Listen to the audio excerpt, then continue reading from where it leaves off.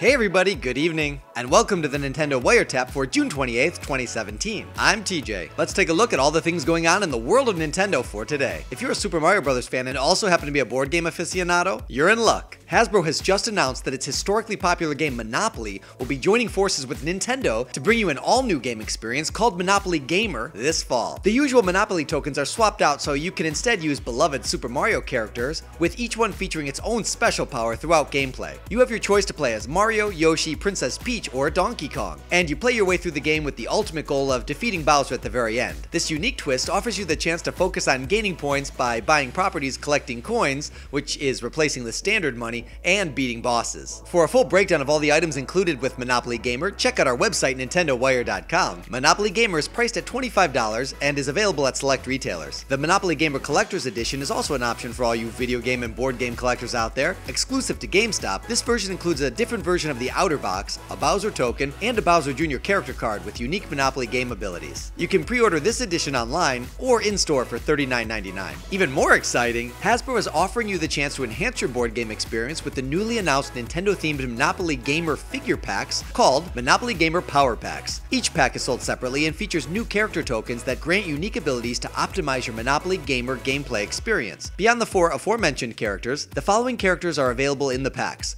Wario, Luigi, Toad, Boo, Rosalina, Diddy Kong, Fire Mario, and Tanuki Mario. Each pack contains a character token, character card, and a character sticker. Monopoly Gamer figure packs are priced at $4 a piece. For a more in-depth look at Monopoly Gamer and all its board gamey goodness, you can check out the Monopoly Gamer rules video right from our website, nintendowire.com. So sound off, Nintendo fans. Let us know in the comments section below if this is a game that appeals to you. Personally, I really think it looks like a lot of fun, but I'm not too crazy about the setup and teardown of board games. Any chance for a virtual release on the Switch? Cause that would be awesome. The countdown to Legend of Zelda Breath of the Wild DLC Pack 1 continues. We have less than 48 hours until the Blood Moon approaches for the first time in Legend of Zelda Breath of the Wild's first DLC pack. Over on Nintendo of Japan's site dedicated to the game, an update provided the file sizes for the DLC. Surprisingly, the Wii U's download is a bit heavy to the tune of 3.7 gigabytes. The Nintendo Switch, on the other hand, is not even half a gig, clocking in at 456 megabytes. It's interesting to see the technological gap between the two versions, possibly due to the Wii U version getting some extra fine tuning to help support all the new content. This suggests that it's probably likely to expect a dramatic contrast in file sizes this holiday season when the second half of DLC drops. I want to fight a gold Lynel so bad! I cannot wait. Since 1998, the Game Critics Awards have been celebrating the very best in games spotlighted at E3. 2017's process involved 38 global media outlets coming together to pick out their top games from a selection of nominees, and Nintendo didn't do too bad for themselves. Super Mario Odyssey is the big winner, bringing home three awards total.